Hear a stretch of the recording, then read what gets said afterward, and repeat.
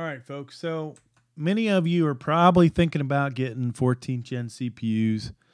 Let's make sure you're ready to go. Uh, and how do you do that? Well, if you're buying a brand new one, folks, make sure it has BIOS uh, flashback on it. All right. Um, lots of different versions of that.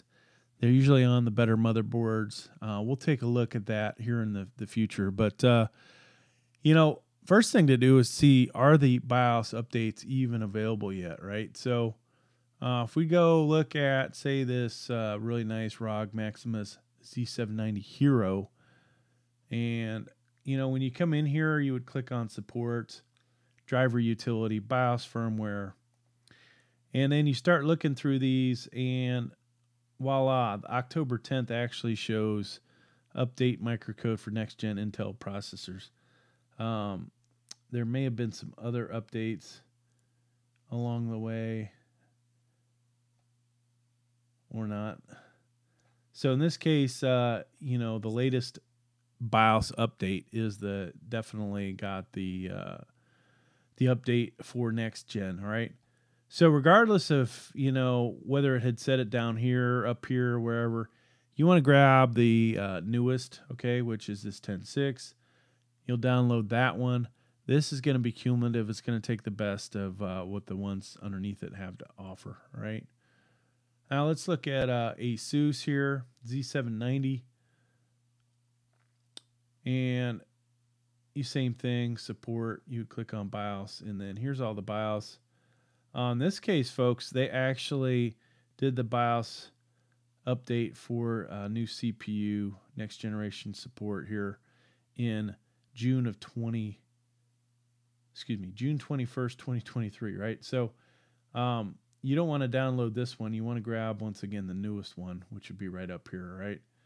So most likely, if you see this in June, you're covered for 14th, right? Um, but you still you still have to do the BIOS update. Um, now, do another one, Gigabyte Z790UD. Uh, I have this one. Well, actually, I have the AX version, but uh, so when you look at the newest BIOS on here, September 12th, uh, is there anything in here about next gen? No. August 29th? No. July 28th? Uh, there it is. Okay. Amazing it wasn't the first thing on here. But uh, once again, grab the newest BIOS update. That'd be F9. All right. Let's see. So you know how did I how did I figure this out? Well, without 14th gen, uh, there's some articles out there, different websites. Uh, they tell you you know things are uh, that they're ready to go.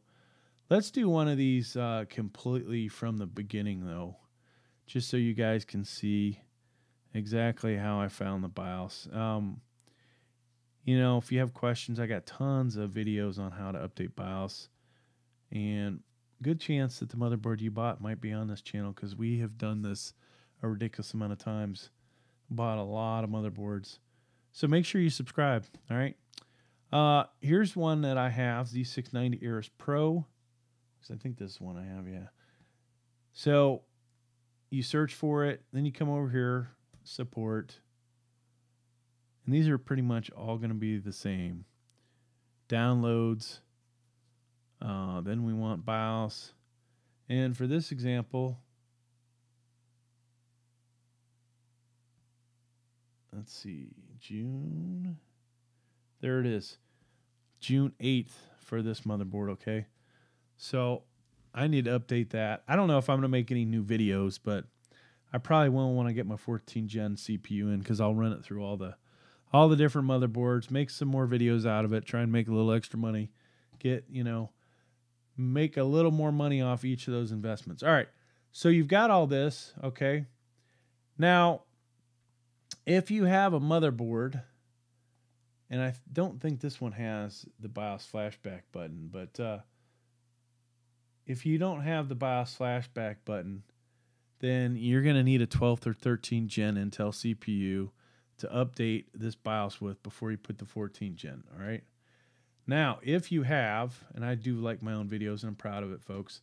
Um, I watched this a second ago and I'm like, ah, I might as well like it. But all right, so if you have this Aorus Ultra Z690.